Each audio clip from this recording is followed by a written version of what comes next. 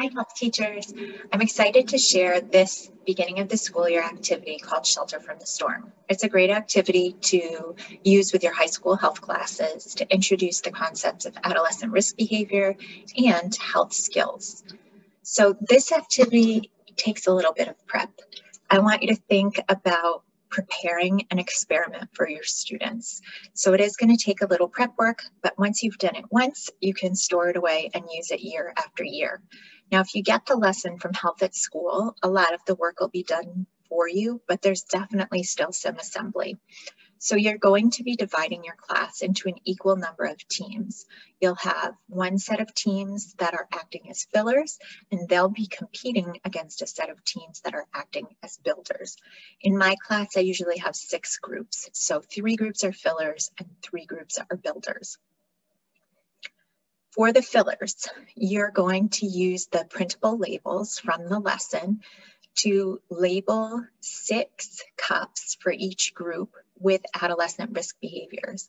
The labels are easy to attach. I just use packaging tape and attach it to plastic cups so I can use it year after year.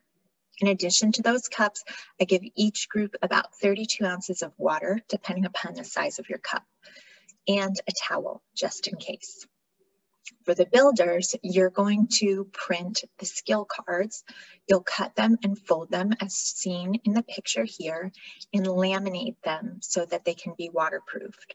If you're a parent, you probably have Legos everywhere and you can grab one of your kiddos' little Lego minifigures. If not, you can use the printable minifigures you get in the set and laminate those as well. In addition to the skill cards and the minifigures, the builders are going to get a larger basin to build their structure in. And I give them a smaller Tupperware container that contains all of these behavior cards, um, I'm sorry, these skill cards and the minifigure. So as students come in, they'll be assigned groups, either fillers or builders. Then they get started on their task. So the builder's job is to protect that little minifigure. And the building blocks they have are health skills. So on each of these red cards is a different health skill, many of which are taken from our national health education standards. What you see on the screen is one successful build. There's eight total cards. This group used four cards to form the bottom or base of a structure for their minifigure, creating a floor and walls. And then they used an additional four skill cards to kind of wrap those walls and secure the minifigure figure. They were pretty crafty. They put their structure inside the basin, which you want everyone to do. That's your catch basin for the water.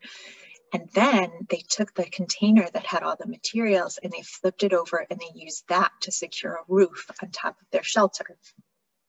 Now, while your builders are figuring out how they're going to build the best structure and shelter for their minifigure, your fillers are considering the risk behaviors that are labeled on each cup. Now their job is to fill each cup with an amount of water that represents how prevalent they believe that behavior to be.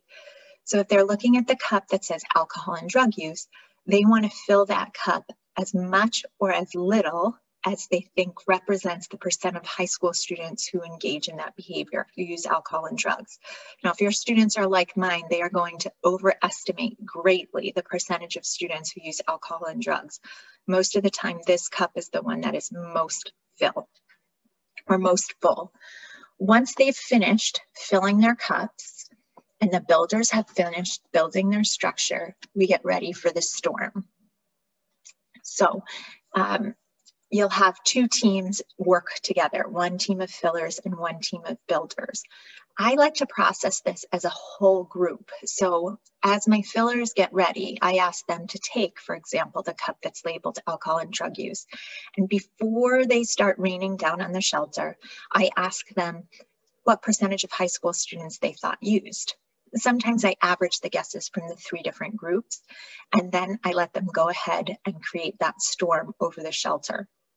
Now, after they've poured the water onto the shelter, I share a slide, which is included in the lesson as well, that tells them what the youth risk behavior says, survey says. So in this case, the most recent data from the YRBS tells us that less than 15% of students have ever in their lifetime used select illicit drugs like cocaine inhalants, heroin, methamphetamines, ecstasy, hallucinogens. Now, students generally respond by saying, yeah, but a lot more kids use alcohol.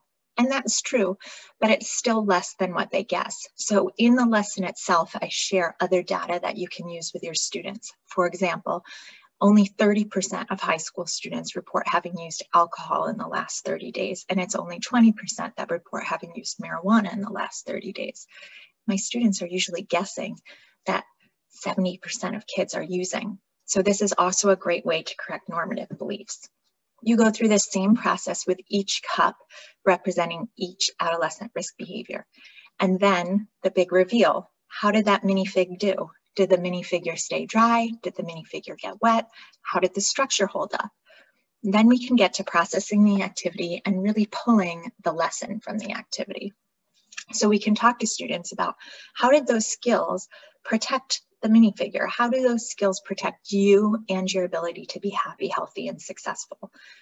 We can also talk about what happens if we don't have all the skills, right? If we can't combine the skills in the right way, are we as safe? This is a great time to bring up the social determinants of health. One of the skills is accessing valid information. Well, if I live in a place where I don't have access to the internet or I'm not close to health providers, it's going to be much harder for me to access valid sources of health information and trustworthy healthcare providers. And as such, it's going to be harder for me to keep myself safe and healthy. So students learn that having these skills, the way we combine and use them, and having access to things, our environment, play a big role in keeping us safe and healthy.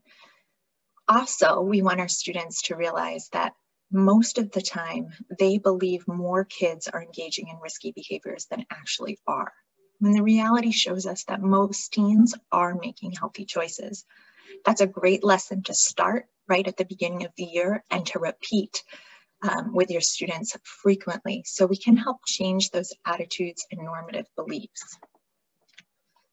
All of this is part of a larger lesson, a whole bundle of activities that you can use in the beginning of your high school health program. There's an activity where students come up with expectations of behaviors that will create a safe learning environment, a great game for getting to know them called I Am, I'm Not, I Know. All of this involves opportunities for movement and technology, as well as bonus materials for their families. If you're dealing with some COVID restrictions still at this point, you can still do this activity. So if students need to stay three feet apart, you can still have that building group. One of the students is designated the actual builder, while the others can help direct the building. This is also a great opportunity to talk about the importance of effective communication. What helps communicate information well? How do groups work together well? What barriers were there to being successful? Um, so there's a lot of lessons that are inherent in this that you can add in as you go.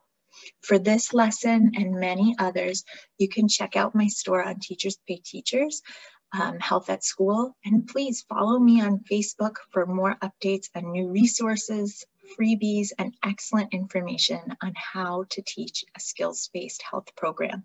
Have a great day.